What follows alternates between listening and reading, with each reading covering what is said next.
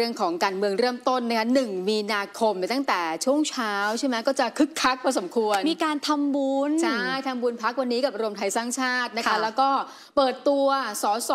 ที่เดินทางเข้าสู่รวมไทยสร้างชาติ วันนี้เนี่ยอีกประมาณสัก 40 คนด้วยกัน รู้สึกว่าจะเยอะกว่าล็อตที่แล้วนะคะเยอะกว่าค่ะ ครั้งแรกเนี่ยอยู่ที่ประมาณสัก 18 คน ที่สวมเสื้อให้นะอ่าวันที่27กุมภาพันธ์เนี่ย18 คน วันนี้ไปอีก 40 คน เท่าไหร่แล้ววะห้าสิบกว่าละ58 คนใครบอกว่ารวมไทยสร้างชาติเนี่ยจะไม่ถึง 25 คน แต่ประเด็นคือเข้ามาเนี่ยอย่างที่เราเคยบอกอืมว่ามันไม่สำคัญเท่า comeback กี่คนไง เออใช่คือใครๆก็อยากจะหาพรรคสังกัดใช่ไหมย้ายไปไหนคะก็ได้ ย้ายไปไหนก็ได้อืมแต่การเลือกตั้งคราวนี้แหละจะได้กลับมาหรือเปล่า ได้เป็นสสเหมือนเดิมหรือเปล่า นั่นแหละคือประเด็นที่เราจะต้องมาติดตามกันต่อไปกะนะก็ต้องสู้ศึกเลือกตั้งกันแต่ว่าพูดถึงเรื่องของ comeback ไม่ comeback เนี่ยนะคะ กระแสข่าวของผู้ชายคนนี้ค่ะเราให้ฉายาเขาว่า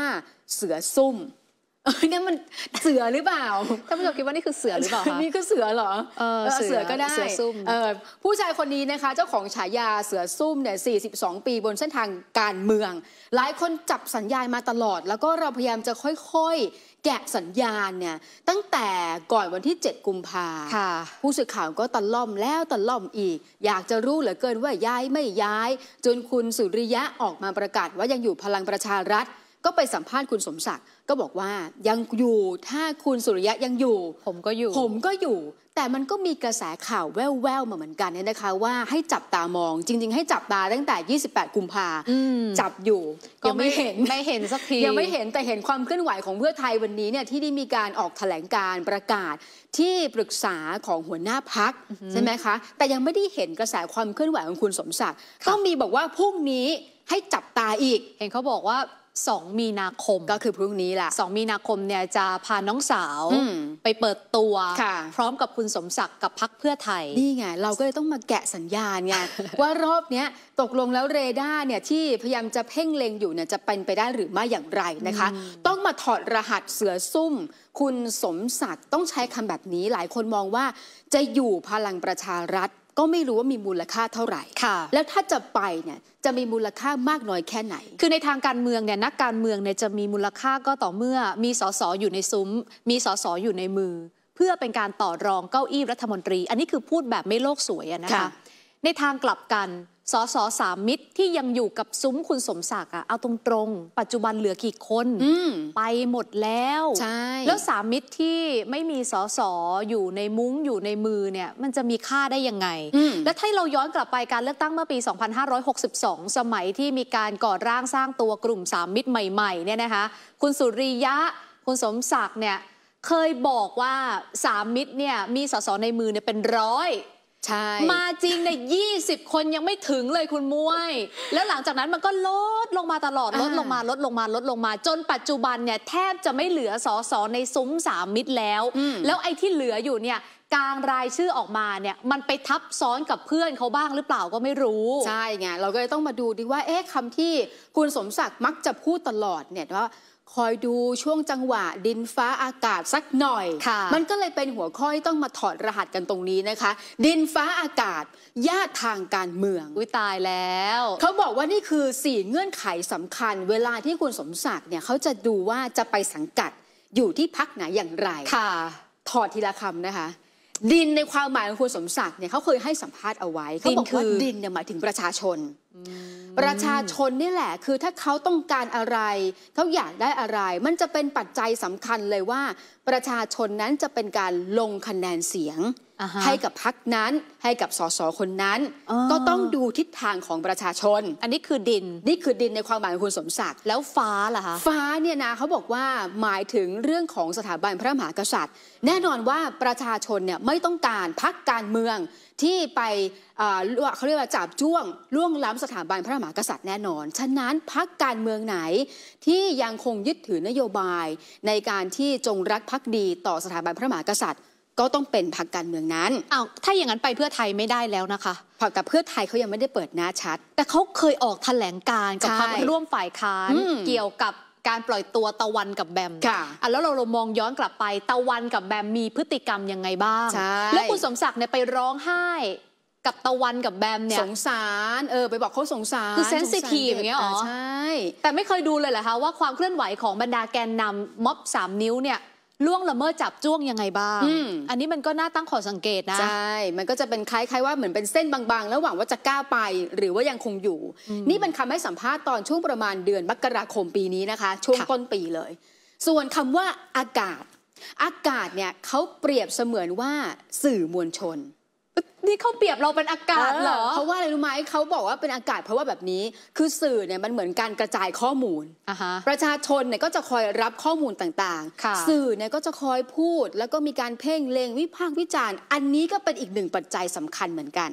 เป็นอากาศเป็นอากาศเอาเราเราเป็นคำสวยๆหน่อยก็ได้เหมือนการส่งสัญญาณอะไรอย่างเงี้ยอ๋อเออเป็นแบบในในมุมที่มันสวยๆหน่อยละกันนะคะ นี่คือดินฟ้าอากาศเป็นค่ะปัจจัยหนึ่งที่เขาดูแล้วว่า เอ๊ะ เราจะไปทิศทางไหนอย่างไร ถ้าเกิดว่าเราจับแค่ 3คำนี้คุณมิว ย้อนกลับไปปี 62 กระแสของประชาชน รักใคร เลือกใครในตอนปี 62 นะ เรื่องของพรรคการเมืองอ่าฮะที่ยึดถือเรื่องของชาติศาสนาพระมหากษัตริย์ เรื่องของอากาศเรื่องของข้อมูลข่าวสารต่างๆ ในตอนนั้นแน่นอนมันเป็นปัจจัยสำคัญที่ค่ะเขายังยงอยู่พลังประชารัฐในตอนนั้นอะแล้วตอนนี้ล่ะ แล้วตอนนี้แหละต้องมาคอยจับสัญญาณแหละว่าจะมีการพลิกเกมหรือไม่อย่างไร คือดินที่หมายถึงประชาชนในมุมคุณสมศักดิ์อืมคุณสมศักดิ์ถ้าสมมุติไปเปิดตัวกับเพื่อไทย แปลว่าประเมินแล้วใช่ไหมว่าตอนนี้ประชาชนเอนไปทางฝั่งเพื่อไทยมากกว่าพลังประชารัฐอืมเราตั้งข้อสังเกตไว้เอออ่าเพราะเขายังอยู่ที่เดิมอยู่นะคะ ส่วนญาติทางการเมืองเอออันนี้จริงๆมันไม่ค่อยยากนะ มันก็ตรงตัวค่ะใช่นี่เป็นอีกหนึ่งเงื่อนไขสำคัญ ซึ่งหลายคนเนี่ยก็เลยมองกลับไปว่าช่วงที่อ่าลุงป้อมนะคะแล้วก็ทีมของพลังประชารัฐเนี่ยเดินทางไปที่ราชบุรี ไปเจอกำนันตุ้ย ไปเจอแม่บุญยิ่งตอนนั้น ซึ่งค่ะทุกคนก็จะรู้ว่ามีความสนิทกันกับทางด้านของคุณสุริยะของคุณสมศักดิ์ด้วย อันนี้ก็อาจจะเป็นหนึ่งเงื่อนไขหนึ่งปัจจัยสำคัญเหมือนกันที่จะทำให้คุณสมศักดิ์ค่อยๆคคิดพิจารณาว่าจะไปหรือว่าจะอยู่ คือยังไงหมายถึงว่าเอ่อญาติมิตรทางการเมืองส่วนหนึ่ง ยังอยู่พลังประชารัฐอย่างเงี้ยเหรอมใช่ค่ะ หรือว่าญาติมิตรทางส่วนหนึ่งจะไปที่ไหน อันเนี้ยมันยังสามารถอ่า เขาเรียกชี้เฉพาะลงไปได้ไม่ชัดเจนเท่าไหร่ โอ้คุณมุ้ยถ้าคุณเปรียบเทียบแบบนี้นะ ดิฉันฟันธง 99.99%คุณว่าสมศักดิ์ไปเพื่อไทยอ่าญาติส่วนใหญ่อะส่งไปเพื่อไทยหมดแล้วค่ะ ถ้าเราตีจาก 4 เงื่อนไขนะ คือคุณผู้ชมเราพยายามจะตีจาก 4คำ4เงื่อนไขของเขานะเพื่อจะถอดรหัสเพราะว่าเวลาสัมภาษณ์คุณสมศักดิ์เนี่ยมักจะไม่ค่อยได้คำตอบไงคุณต้อง set zero ข้อมูล คุณเออต้องล้าง memory อยู่ตลอดล้างทุกวันก็ยังไม่ได้ข้อก็มูลยังไม่ได้จนต้องมาลองแงะแงะแงะดูว่าเอ๊ะจะเป็นไปได้ไหมว่าจะมีโอกาสเดินทางไปอยู่ที่พรรคเพื่อไทย และอีกหนึ่งคำสัมภาษณ์คุณสมศักดิ์เนี่ยเคยพูดแบบนี้ ถ้ารอไปอีกสักเดือนเดือนครึ่งเนี่ยมันจะง่ายมาก แล้วมันก็จะไม่ผิดเลย นี่คือคำสัมภาษณ์ที่ให้ไว้เนี่ยเดือนมกราคมค่ะยังไม่ได้เห็นความเคลื่อนไหวอะไรมากนัก เดือนเดือนครึ่ง คือถ้านับจากมกราคมอืมนับไปเดือนเดือนครึ่ง มันน่าจะครบแล้วไหมคะก็ใกล้แล้วค่ะ เพราะถ้ามานับณวันนี้นับไปอีกเดือนหรือเดือนครึ่งอ๋อยุบสภาไปแล้วค่ะอืไม่ทันแล้วไม่ทันค่ะแล้วแหละก็อาจจะเป็นช่วงนี้แหละเป็นช่วงรอต่อซึ่งมกราที่บอกเนี่ยคือช่วงประมาณสัก 20 กว่าๆที่ให้สัมภาษณ์ไปนะคะ คราวนี้มาดูหน่อยว่าดินฟ้าอากาศญาติทางการเมืองของเขาตอนนี้เป็นยังไงบ้างค่ะแน่นอนนะคะเหมือนที่คุณหมีบอกเมื่อสักครู่เลยสสในกลุ่มสามมิตร ตอนนี้ที่เป็นสสสุโขทัยสสพิจิตรที่อยู่ตามของคุณสมศักดิ์ไปเนี่ยตอนนี้ย้ายไปอยู่ที่เพื่อไทยไปแล้วไปแล้วเนี่ยประมาณ2คนด้วยกันนะคะอืมสองคนด้วยกันก็คือคุณชูศักดิ์คิรีมาศทองนะคะ ก็คือสสสุโขทัยถ้าไปดูผลคะแนนตอนปี 62เนี่ยอยู่ที่ 4419 คะแนน คุณชูศักดิ์เนี่ยตอนนี้ยังไม่ได้เปิดตัวกับอืมเพื่อไทยนะคะ แต่ว่าลาออกจากพลังประชารัฐเรียบร้อยใช่แล้วก็มีข่าวแววแหละว่าเออจะไปคือรอแค่วันวอเวลานอที่จะไปเปิดตัว แล้วถ้าเกิดว่าใครตามการเมืองเนี่ยไปดูการเปิดตัวว่าที่ผู้สมัครสสของพรรคเพื่อไทย อันเนี้ยจะเห็นภาพอืมเขาเปิดตัวสองเขต ค่ะคือเขต 3 กับเขตใช่ แล้วยังเว้นว่างเขตหนึ่งกับเขตสองเอาไว้4ราวกับรอใครไปเติมเต็ม อ่า นี่เราก็พยายามที่จะลองดูว่า เอ๊ะ จะใช่ไหมที่จะไปวางลงไป เพราะว่าขยับ 28 กุมภาหรือพรุ่งนี้ 2 มีนาคมแล้วค่ะถ้าไปแล้วเปิดตัวก็โป๊ะเชะละค่ะ มันใช่เลยใช่โป๊ะล้วแตกโป๊ะแตกเออและอีกท่านหนึ่งคุณภูดิตอินสุวรรณอันนี้สสพิจิตรนะคะค่ะก็ไปด้วยคะแนน 21,466 คะแนน อันเนี้ยเปิดตัวแล้ว แต่ที่น่าสนใจมากคือคนนี้ค่ะ คุณพันธ์สิริกุลนาถสิริน้องสาวของคุณสมศักดิ์นะคะน้องซึ่งก็มีแท้ๆนะกระแสมาตลอด เออว่า เอ๊ะมันจะเป็นช่วงจังหวะที่คุณสมศักดิ์เนี่ยจะผลักดันให้น้องสาวเนี่ยย้ายไปอยู่เพื่อไทย จะเปิดตัวจะเปิดตัวจะเปิดตัวจนพรุ่งนี้ 2 มีนาคมก็แววว่าจะเปิดตัวแล้วไปพร้อมกับคะแนนคือ 43,957 คะแนน แล้วดูเขตสิคะ เขตหนึ่งและเขตสองมันเว้นไว้พอดีพอดี เว้นเอาไว้ว่างๆ พอดีเป๊ะเลยเพื่อไทยก็เปิดตัวเขต3เขต4ไปสิ ใช่อะมันเป็นจังหวะพอดีนะคุณหมีคุณผู้ชมนะค่ะเราก็แค่ตั้งข้อสังเกตเฉยๆอีกอะกลับมาหน้าเมื่อสักครู่ใหม่นะคะ ต้องบอกว่ามันมีอีกหนึ่งประเด็นเรื่องของการยึดผลประโยชน์ส่วนตัวเช่หนลายอะไรคนมองแบบนี้ เวลาที่คุณสมศักดิ์เนี่ยจะอยู่พักการเมืองไหน 42 ปีที่ผ่านมาเนี่ยพอไปลิสต์ดูแล้วเนี่ยมีหลายพักการเมือง แล้วเขาก็สามารถที่จะโยกย้ายเปลี่ยนแปลงขั้วทางการเมืองได้อย่างเห็นได้ชัด เมื่อไหร่ก็ตามที่มีการคาดคะเนว่าพักไหนจะมีโอกาสในการจัดตั้งรัฐบาล หรือแม้กระทั่งเรื่องของตำแหน่งทางการเมือง แน่นอนว่าทุกคนเนี่ยถ้าเกิดเรามองแบบโลกสวยแบบไม่สวยเนาะคือมองแบบโลกปกติเลยเนี่ยตำแหน่งทางการเมืองก็เป็นเรื่องสำคัญ ที่จะดึงนักการเมืองดึงสสเนี่ย เข้ามาแล้วก็ทำทุกอย่างที่เราจะต้องได้ตำแหน่งตรงนั้น ใช่ ซึ่งถ้าย้อนกลับไปเนี่ยคุณสมศักดิ์เนี่ยมีตำแหน่งทางการเมืองเนี่ยมากพอสมควรนะคะ คือเป็นสสเนี่ยตั้งแต่ปี 26 ถึงปี 39 ใช่ไหมประมาณ 7 สมัย 9 สมัยประมาณเนี้ยค่ะ แต่ว่าเป็นรัฐมนตรีช่วยมาหลายกระทรวงค่ะทั้งกระทรวงสาธารณสุขนะคะกระทรวงคมนาคม แล้วก็เป็นรัฐมนตรีว่าการหลายกระทรวงเช่นเดียวกัน ทั้งกระทรวงแรงงาน กระทรวงเกษตรและสหกรณ์กระทรวงการท่องเที่ยวและการกีฬากระทรวงอุตสาหกรรมแทบแล้วจะครบแล้วนะ ล่าสุดนี่คือกระทรวงยุติธรรม อันนี้เป็นรัฐมนตรีว่าการใช่ค่ะ แล้วก็อีกหนึ่งประเด็นที่ถ้าเขาจะต้องมีการขยับปรับเปลี่ยนจริง ๆ ณวันนี้เรื่องของตัว Party List คือชื่อหรือว่าลำดับเนี่ยมันจะส่งผลมากต่อการตัดสินใจนะคะค่ะเพราะว่า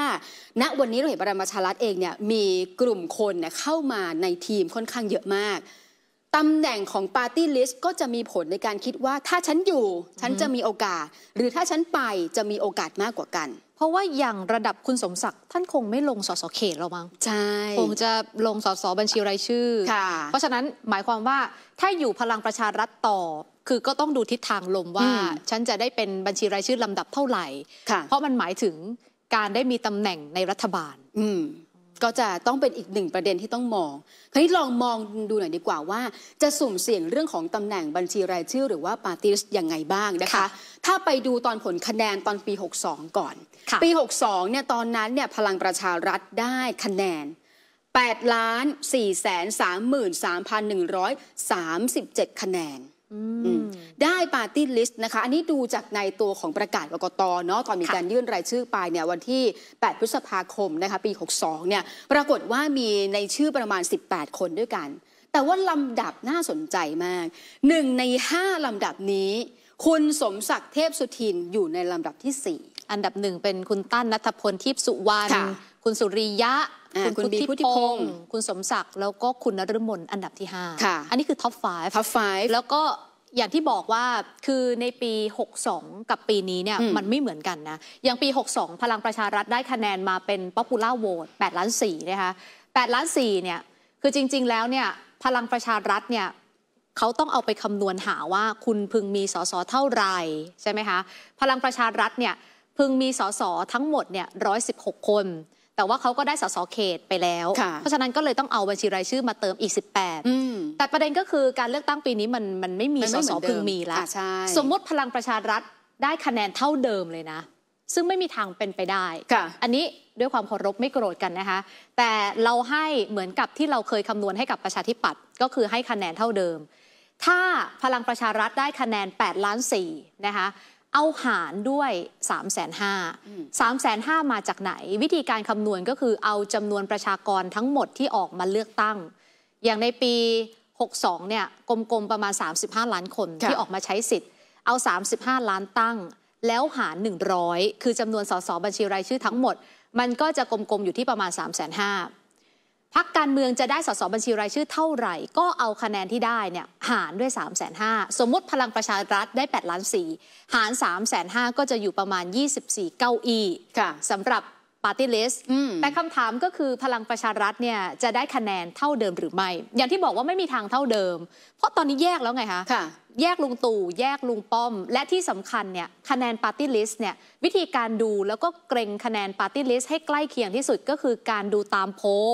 โพลต่างๆเนี่ยลุงป้อมเนี่ยด้วยความเคารพรั้งท้ายโดยตลอดนะคะ ใช่ โอกาสที่คะแนนจะจะกลับไปเท่านี้น่าจะยาก ยาก พยายามจะตีสัก 3 ล้าสามล้านเออประมาณอะสัก 3 ล้านเนี่ยน่าจะเป็นไปได้ ถ้าสามสมมติ 3 ล้าน 3 ล้าน 5 ก็ประมาณเกือบเกือบสิบเก้าอี้อืมถูกไหมค่ะ ถ้า 3 ล้านก็ไม่ถึง 10 เก้าอี้ 8 9 ที่นั่งเองสำหรับปาร์ตี้ลิสต์อ่า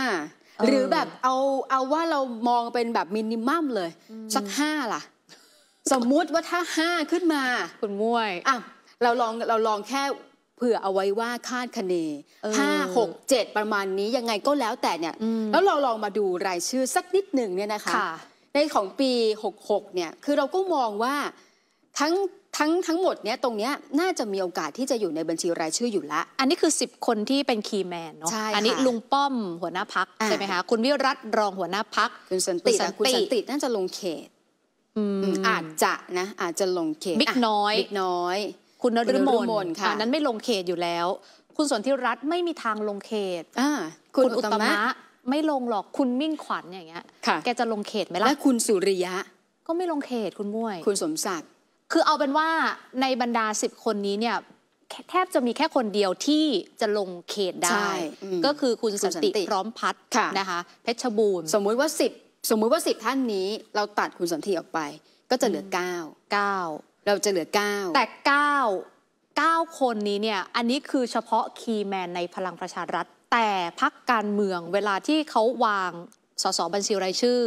มันจะสลับปรับเปลี่ยนใช่ค่ะหนึ่งต้องเป็นหัวหน้าพักอยู่แล้วอืมบางพักอันดับที่สองอาจจะเป็นกรรมการบริหารพักเช่นเลขาธิการพัก แล้วก็รองหัวหน้าพักไล่ไป แต่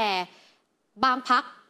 ต้องมีนายทุนมาขั้นอีกไงค่ะอันนี้อืมคือยังไม่มีนายทุนแม้แต่คนเดียว ใช่ ก็เก้าคนเข้าซึ่งไปเราแล้วก็ยังไม่สามารถจะคาดคะเนได้ เพราะมันก็ยังไปไม่ถึงตรงนั้นอืมถูกไหมถ้าเกิดสมมุติว่าอาจจะมีนายทุนหรือมีใครเพิ่มเติม แน่นอนว่าตำแหน่งเนี่ยมันก็จะต้อง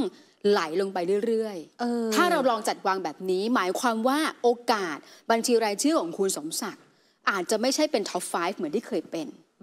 อาจสมมุติว่าถ้าเกิดว่ายังมีคนมาเพิ่มมากกว่านี้ หรือแม้กระทั่งณตอนนี้เองเนี่ย ก็ยังไม่ใช่ top 5 เหมือนเดิมอืมนะคะคือเราก็ลองมองดูว่าแต่ละท่านเนี่ยจะมีโอกาสได้มากน้อยแค่ไหน เพราะลุงป้อมอะยังไงก็ต้องเป็นปาร์ตี้ลิสต์เบอร์หนึ่งอะค่ะแต่ว่าถ้าเราย้อนกลับไปปี 62 เนี่ย ตอนนั้นหัวหน้าพรรคคือคุณอุตตมนะคะค่ะเลขาพรรคคือคุณสนธิรัตน์อืมแต่ทั้งสองท่านก็ไม่ได้ลงปาร์ตี้ลิสต์นะ ใช่เออหรือว่าพลังประชารัฐจะเขาอาใช้จจะวิธีมีโครงการสร้างจัดโดยที่ไม่ได้ใส่หัวหน้าพรรค ลงไปในตำแหน่งสสปาร์ตี้ลิสต์อืมหรือเปล่าค่ะหรือโอเค กลับมาคราวนี้คุณสนธิรัตน์กับคุณอุตตมอาจจะไม่เป็นสสปาร์ตี้ลิสต์ก็ได้ แต่อาจจะมีเงื่อนไขว่า ฉันจะต้องได้เป็นรัฐมนตรีนะ อืมเออ ใช่ไหมก็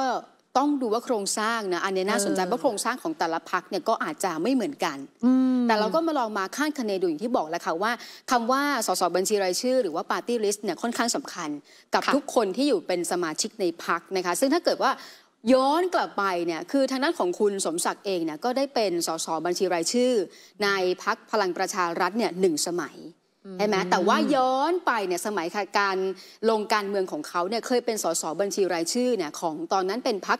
ไทยรักไทย สามสมัยด้วยกัน การเลือกตั้งปี 44 ปี 48 ปี 49 เนี่ยได้มาถึง 3 สมัย จะเป็นไปได้ไหม ว่าเขาดูแล้วว่า ถ้าตัวตำแหน่งในบัญชีปาร์ตี้ลิสต์ของเขาอาจจะไม่ได้เพียงพอในพรรคพลังประชารัฐ และถ้าขยับไปอยู่เพื่อไทยอ่าอาจจะมีโอกาสได้เป็น top 5 เป็น top 10 ก็เป็นไปได้ หรือมีเงื่อนไขอื่นอย่างเช่น ถ้าสมมุติว่าสสในซุ้มของคุณเนี่ยทำจำนวนเก้าอี้อืมได้มาก พอที่ตั้งเป้าเอาไว้ค่ะ อาจจะมีตำแหน่งรัฐมนตรีต่างตอบแทนก็ได้อืมอาจจะไม่ใช่แค่ตำแหน่งปาร์ตี้ลิสต์ละแต่ถ้าเป็นรัฐมนตรีในกระทรวงเกรด A ล่ะ เพราะว่าปัจจุบันอยู่พลังประชารัฐ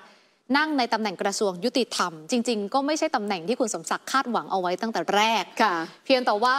ตัวเลือกในพลังประชารัฐก่อนหน้านี้เนี่ยหลายท่านอืมมีความรู้ความสามารถ แม้แต่คุณสุริยะเอง ที่นั่งในตำแหน่งรัฐมนตรีอุตสาหกรรม ท่านก็ไม่ได้พอใจ ท่านอยากจะเป็นรัฐมนตรีพลังงานจะตาย จนสีกุมารต้องออกจากพลังประชารัฐอะค่ะเพราะฉะนั้นถ้าสมมุติว่าคุณสมศักดิ์ไปคุยกับฝากฝั่งของเพื่อเพื่อไทยจริงอืมนะคะอาจจะได้ตำแหน่งเก้าอี้รัฐมนตรีเกรด A บางทีมันหอมหวานกว่าไง แล้วก่อนหน้านี้ เราเคยเล่าให้ฟังว่ามีแกนนำสามมิตรบางคนไปถ่ายรูปสสประชาธิปัตย์ที่เป็นอดีตสสนครสวรรค์ส่งไปให้กับ เจ๊เจ๊แดงคนหนึ่งของพรรคเพื่อไทยอืมเอาคุณผู้เชื่อใช่เจ๊คนหนึ่งขเราองพูดพรรตาคมเพื่อข่าวไทยเราพูดตามข่าวเลย ซึ่งอันนั้นมันก็เป็นสัญญาณอืมอย่างต่อเนื่องค่ะที่เราเห็นมา ใช่ แล้วถ้าไม่มีมูลคุณมุ้ยหมามันไม่ขี้อะพูดตรงๆ ถูกไหมอ่าข่าวมันออกมาแบบนี้เนี่ย มันต้องมีมูลค่ะอยู่ที่ว่าคุณสมศักดิ์จะเลิกซุ่มเมื่อไหร่ ด้วยความเคารพคุณสมศักดิ์น่าจะเปิดหน้าได้แล้ว ก็เราก็รอลุ้นอยู่ว่าสุดท้ายแล้วเนี่ยพรุ่งนี้เนี่ยจะเปิดไหมจะยังเป็นเสือซุ่มอยู่หรือเปล่า เพราะอย่างที่คุณหมิงบอกแหละกระแสข่าวมันมีมาเรื่อยค่ะเราก็พยายามจะจับสัญญาณมาเรื่อยๆ ตั้งแต่ไปไปจีบสสคนอื่น มีการส่งมีข่าวมีข่าวว่าจะส่งสสในกลุ่มของตัวเองเนี่ยไปเพื่อไทยก็ไปจริงไปจริงอ่ามีการว่าเดี๋ยวจะมีการเปิดตัวน้องสาวไปอยู่เพื่อไทยเดี๋ยวรอพรุ่งนี้แต่หลายคนก็มองว่า 90%น่าจะไป นะคะแล้วก็รวมไปถึงเรื่องของคุณสมศักดิ์ด้วยเนี่ยคือ 40 กว่าปีบนเส้นทางทางการเมือง ต้องใช้คำนี้นอกจากจะเป็นเสือซุ่มแล้วเนี่ยเขาเป็นคนที่ยอมหักไม่ยอมงอค่ะ คือยังไงคะก็คือทำอะไรก็ได้ทำทุกอย่างเพื่อให้ตัวเองเนี่ยได้ไปถึงจุดจุดๆนั้นอ่า ไม่ว่าจะเป็นเรื่องของการเปลี่ยนแปลงการย้ายพักเราเคยทำชาร์ตให้คุณผู้ชมได้เห็นแล้วนะคะว่าค่ะการอยู่ในพักเนี่ยเปลี่ยนแปลงมาหลายครั้ง เริ่มจากกิจสังคมใช่ไหมแล้วก็ไปที่ไทยรักไทยไปมัชชิมา พอพักตอนนั้นเนี่ยเอ่อไปก่อตั้งกับคุณประชัย ปรากฏว่าไปเลื่อนขาเก้าอี้การอยากจะให้ภรรยาตัวเองขึ้นเป็นหัวหน้าพัก สุดท้ายพักถูกยุบ ก็พากลุ่มสสของตัวเองเนี่ยไปอยู่ภูมิใจไทยอยู่สักพักหนึ่ง แล้วหลังจากนั้นมาก็มาอยู่เพื่อไทย มาอยู่เพื่อไทยมาอยู่พลังประชารัฐ เห็นถึงการเปลี่ยนแปลงขั้วที่มันเป็นการเปลี่ยนแปลงขั้วทางการเมืองได้ตลอด คือเป็นนักการเมืองที่ ไม่ได้มีฝั่งชัดเจนใช่ค่ะเนอะที่ก็ไหนก็ได้อะเอางี้ดีกว่าขอให้ง่ายๆได้เป็นรัฐบาลก็พอ ดูจากการคาดคะเนว่าน่าจะเป็นรัฐบาล แล้วคำถามคือปี 2566 จะไปที่ไหนจะอยู่ที่ไหนอืมเราเลยทิ้งท้ายทิ้งคำถามเอาไว้ตรงนี้ แล้วก็รอดูว่าจับสัญญาณของคุณสมศักดิ์เทพสุทิน รวมไปถึงน้องสาวเนี่ยว่าจะกลับไป comeback ไปอยู่เพื่อไทยจริงตามที่ได้มีการถอดรหัสคำต่างๆ ที่ได้บอกมาหรือไม่อ่ารวมไปถึงปัจจัย ทั้งปาร์ตี้ลิสต์ด้วย แล้วก็ตำแหน่งของรัฐมนตรีด้วยค่ะนี่แหละค่ะ